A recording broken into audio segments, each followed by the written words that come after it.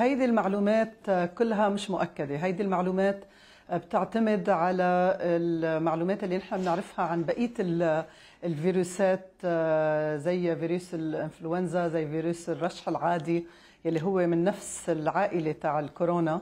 هو الكورونا فيروس اللي هلأ الكوفيد 19 هو من نفس عائلة الكورونا يلي بتسبب الرشح العادي. فهيدي كلها معلومات نحن كنا يعني أو الناس عم بتروجها.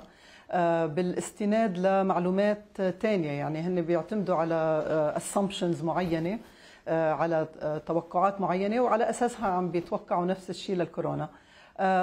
نحن هلأ بالوقت الحاضر ما فينا نأكد هاي المعلومات وبالتالي أنا بالعكس بحب ركز إنه نحن بدل ما نقعد نتنبأ شو بده يصير الأفضل إنه نركز على المسجز على الرسائل الوقائية.